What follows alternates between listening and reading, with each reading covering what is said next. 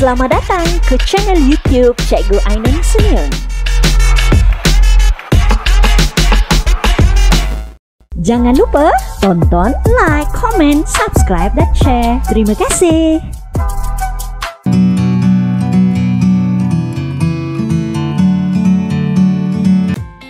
Assalamualaikum warahmatullahi taala wabarakatuh dan salam sejahtera.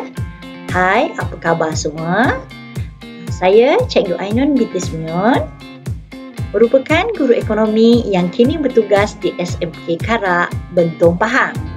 Jadi alhamdulillah bertemu kita sekali lagi di channel YouTube Cikgu Ainun Semion untuk meneruskan pembelajaran kita. Jadi, apa yang kita nak belajar hari ini?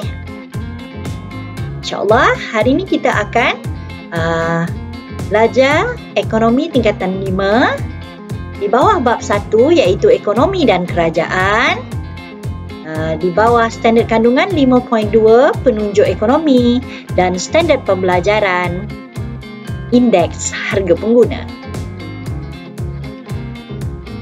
Standard pembelajaran kita pada hari ini ialah 5.2.1 menjelaskan indeks harga pengguna sebagai alat ukuran inflasi.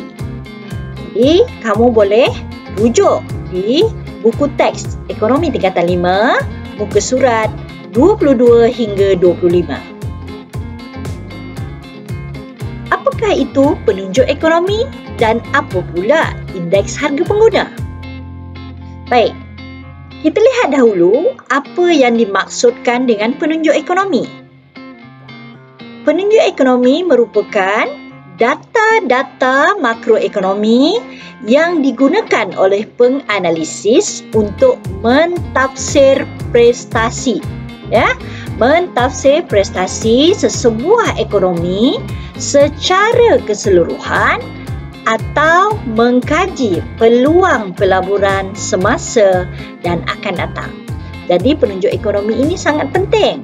Jadi kita nak lihat bagaimanakah, apakah, bagaimana dan apakah penunjuk-penunjuk ekonomi yang dimaksudkan untuk uh, digunakan, yang digunakan dalam mentafsir prestasi sesebuah ekonomi. Okey.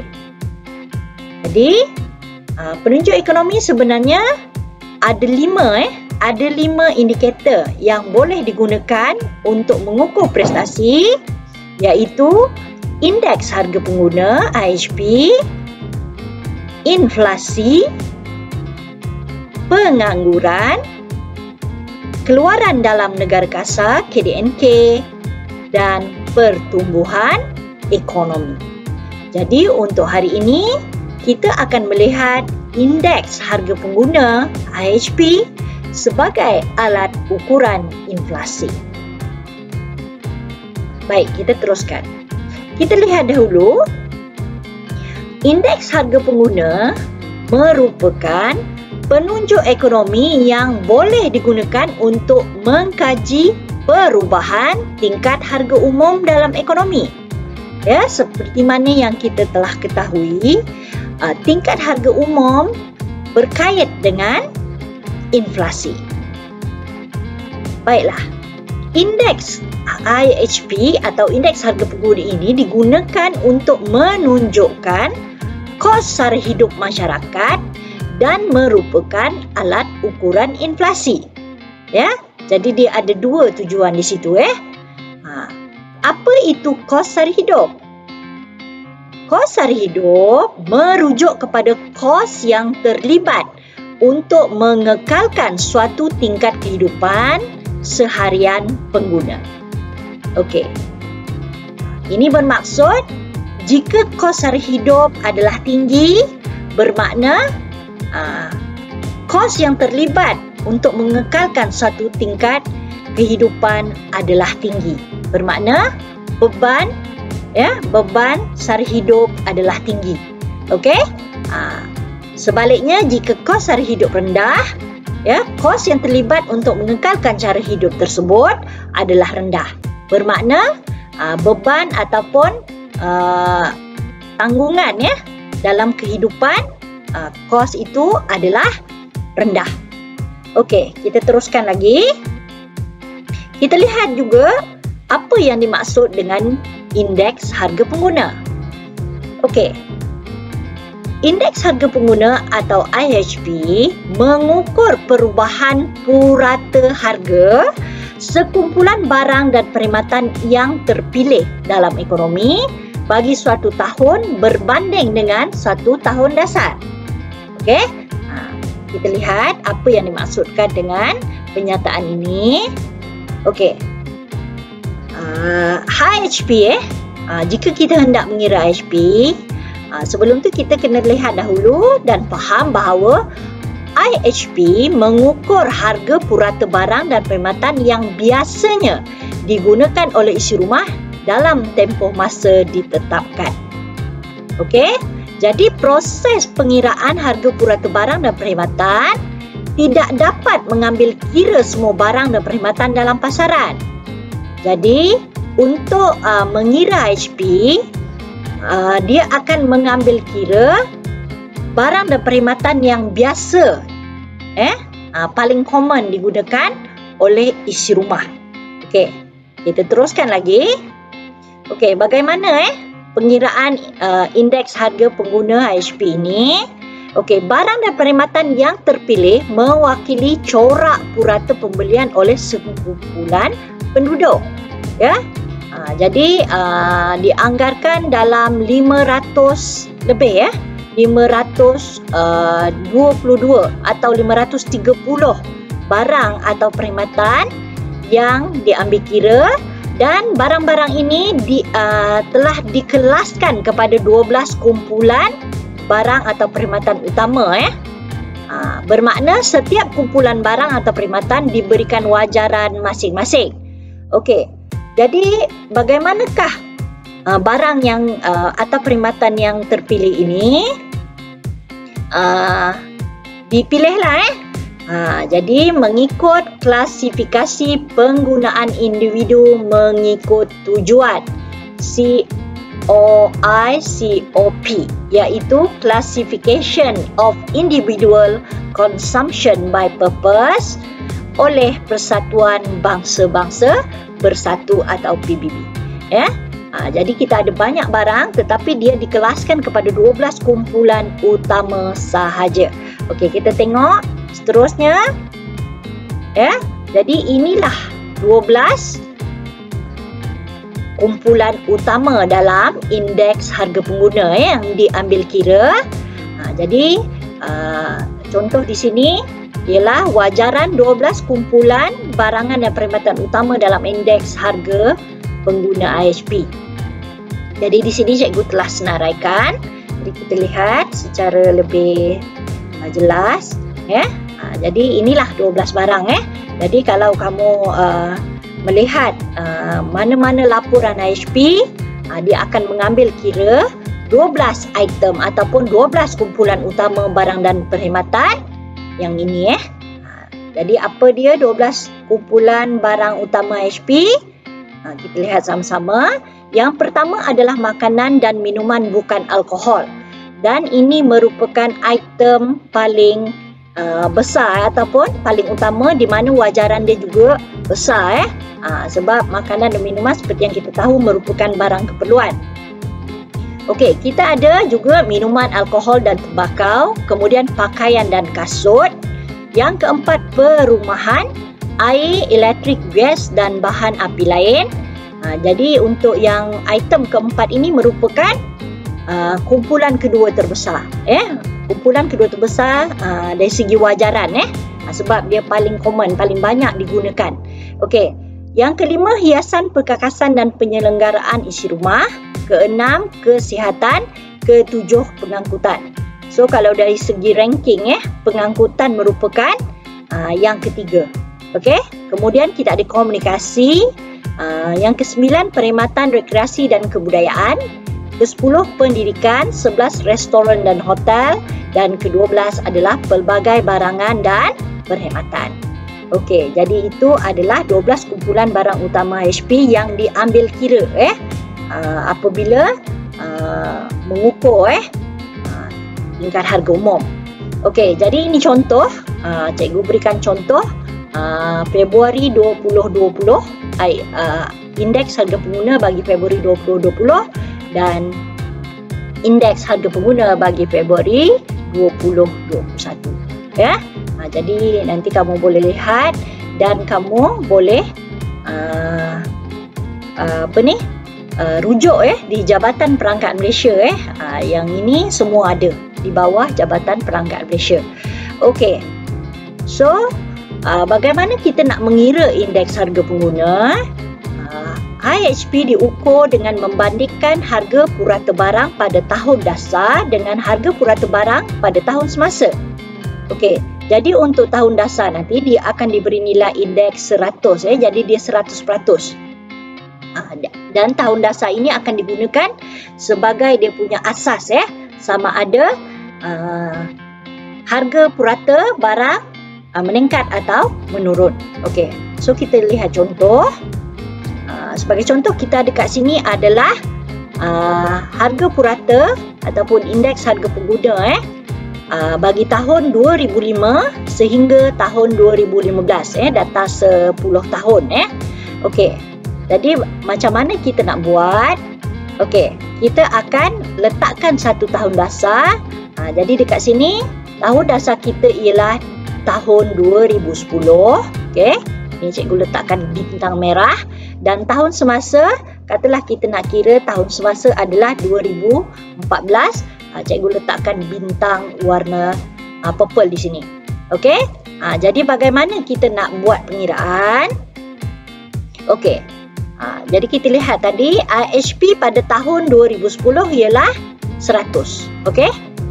Itu adalah tahun dasar dan IHP pada tahun 2014 ialah 110.5.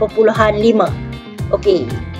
Ini membawa maksud bahawa tingkat harga umum 2014 telah meningkat sebanyak 10.5% berbanding tahun dasar 2010.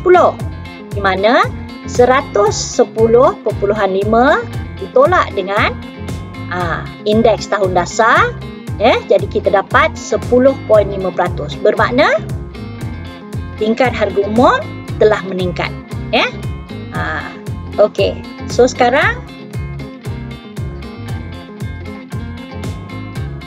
Kita lihat maksudnya ialah indeks harga pengguna yang semakin meningkat dari setahun ke setahun menunjukkan peningkatan dalam tingkat umum secara berterusan. Okey? Ha, jadi kalau kita lihat di sini naik eh.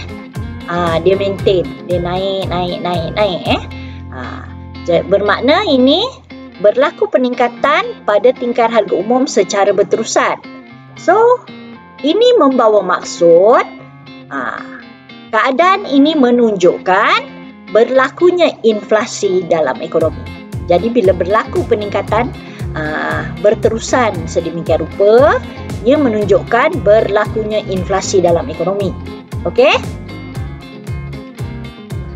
Jadi jika kita hendak uh, uh, mengukur ya dari segi skala indeks harga pengguna tadi, kita lihat jika indeks harga pengguna HP meningkat dari setahun ke setahun, aa, menunjukkan apa? Berlaku peningkatan harga umum secara berterusan, maka inflasi berlaku eh. Inflasi telah berlaku. Okey. Dan sekiranya keadaan sebaliknya berlaku, okey, kita lihat kat sini, jika indeks harga pengguna HP menurun dari setahun ke setahun, menunjukkan berlaku penurunan harga umum secara berterusan, apa dia? Inflasi tidak berlaku. Okey? Ha, jadi itu adalah cara ha, bagaimana IHP digunakan untuk menentukan eh menjadi alat ukuran ha, inflasi. Okey, jadi untuk memahami uh, IHP ni, uh, mari kita lihat uh, video ini eh untuk lebih memahami.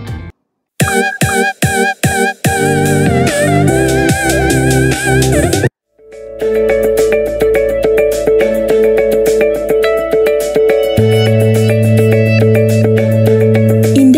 Pengguna atau IHP mengukur perubahan harga barangan dan perkhidmatan yang biasanya digunakan oleh pengguna di Malaysia pada tempoh masa yang ditetapkan. IHP digunakan sebagai proksi untuk mengukur dan menentukan kadar inflasi. Bayangkan sebuah troli beli belah penuhkan troli ini dengan barangan yang mungkin dibeli oleh anda dan pengguna lain di Malaysia. Kemudian, tentukan kos barangan tersebut dari semasa ke semasa. Perubahan kos barangan dalam troli ini merupakan perubahan harga sebenar yang digunakan untuk mengukur IHP. Bakul IHP mengandungi 530 barangan dan perkhidmatan yang dibeli oleh isi rumah di Malaysia, barang runcit dan keperluan harian, kadar sewa rumah, bil elektrik dan air, petrol dan tol, bayaran menguci rambut dan banyak lagi. Setiap barangan dalam bakul ini mempunyai kepentingan atau wajaran yang mewakili peratusan perbelanjaan isi rumah. Contohnya, pengguna di Malaysia lebih banyak berbelanja untuk petrol berbanding menggunakan pengangkutan awam. Oleh itu, petrol mempunyai wajaran yang lebih besar daripada pengangkutan awam dalam IHP. Bakul ini mewakili corak perbelanjaan pengguna Malaysia yang berubah mengikut masa. Dulu, telefon bimbit kini telefon pintar. Bakul ini dikemas kini secara berkala bagi memastikan IHP kekal mewakili corak perbelanjaan pengguna. Hampir 180,000 harga barangan dipungut di kedai yang sama bagi barang yang sama setiap bulan di pelbagai lokasi di seluruh negara, di pasar, kedai runcit, pasar raya dan lain-lain. Sebarang perubahan dalam kuantiti atau kualiti barangan yang dipungut juga diambil kira. Sebagai contoh, jika saiz sekotak susu berkurang dan harga tidak berubah, pengguna secara tidak sedar telah membayar lebih untuk susu tersebut. Pelarasan harga akan dibuat supaya perubahan ini ditunjukkan dalam IHP. IHP ini digunakan untuk pelbagai tujuan termasuk sebagai asas untuk menganggar perubahan dalam kos sara hidup. IHP juga digunakan oleh kerajaan dan perniagaan sebagai indikator untuk menilai prestasi ekonomi dan membantu dalam pembentukan dasar kewangan dan fiskal. Jabatan turut menerbitkan inflasi teras Malaysia yang digunakan sebagai panduan operasi dasar monetari. Terima kasih kerana menonton. Okey. Ha, jadi terima kasih kepada Jabatan Perangkat Malaysia eh. Ha, jadi cikgu harap uh, dengan penerangan eh de, de, melalui video tadi kamu lebih memahami eh. Walaupun kita tidak belajar secara detail tetapi sekurang-kurangnya kamu memahami eh bagaimanakah IHP ini ditentukan dan bagaimana dia uh, boleh uh, menjadi alat ukuran untuk kos sara hidup dan juga ukuran inflasi rakyat Malaysia. Okey. Jadi uh, sebagai kesimpulan kita ulang balik apa yang uh, isi penting yang telah kita pelajari sebentar tadi. Okey, dari segi maksud indeks harga pengguna, apa dia maksud dia?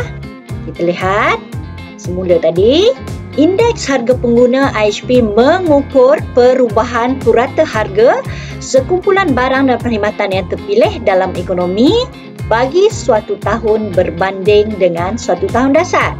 Ya. Ha, tadi cikgu dah uh, tunjukkan pada kamu contoh ya bagaimana IHP ini uh, diukur perubahan uh, mengikut uh, satu tahun dasar dan juga tahun semasa. Okey. Dan kalau kamu lihat di sini, uh, jadi uh, kalau RM50 pada tahun uh, 2010, uh, mungkin kita boleh beli barang satu troli penuh eh ha, tetapi mungkin sekarang ha, dengan RM50 ha, separuh saja ataupun suku troli saja kita boleh dapat beli ha, jadi ha, itu adalah contoh bagaimana harga purata ha, barang dan ha, kos hari hidup kita eh ha, dipengaruhi oleh tingkat harga umum tadi Okey, so sekarang kita lihat high HP eh. Bagaimana high HP uh, bertindak sebagai alat ukuran inflasi. Okey, macam mana? Okey. Apabila HP menurun, apa yang berlaku? Ha, jika indeks harga pengguna HP menurun dari setahun ke setahun menunjukkan berlaku penurunan harga umum secara berterusan bermakna IHP uh, telah menunjukkan apa? Uh, inflasi tidak berlaku. Ya? Uh, jadi uh, maknanya harga barang tu dia tak dia tak naik secara berterusan. Sekarang diturun pula. Okey, so bermakna inflasi tidak berlaku. Okey, sebaliknya apabila IHP menunjukkan peningkatan, IHP meningkat iaitu jika indeks harga pengguna IHP meningkat dari setahun ke setahun yakni menunjukkan berlaku peningkatan harga umum secara berterusan ha, ini bermakna inflasi telah berlaku. Ya? Ha, mudah saja kan? Ha, jadi untuk uh, uh, indeks harga pengguna sebagai alat ukuran inflasi uh, itulah perkara yang perlu kamu uh, tahu ya? Okey. Jadi uh, alhamdulillah kita selesai dengan uh, uh, standard pembelajaran kita hari ini. Jadi cikgu harap kamu boleh memahaminya. Okey jika video ini bermanfaat dan uh, berguna bagi kamu uh, cikgu mohon sharekan video ini kepada rakan-rakan yang lain supaya lebih ramai akan mendapat manfaatnya. Ya? Uh, jadi untuk pastikan kamu tidak ketinggalan eh video-video seterusnya daripada cikgu sila tekan butang subscribe eh dan tekan butang loceng uh, untuk notifikasi video-video seterusnya. Jadi, uh, ingat jika video ini bermanfaat, jangan lupa like dan share. Okey, jadi itu saja daripada cikgu. Terima kasih.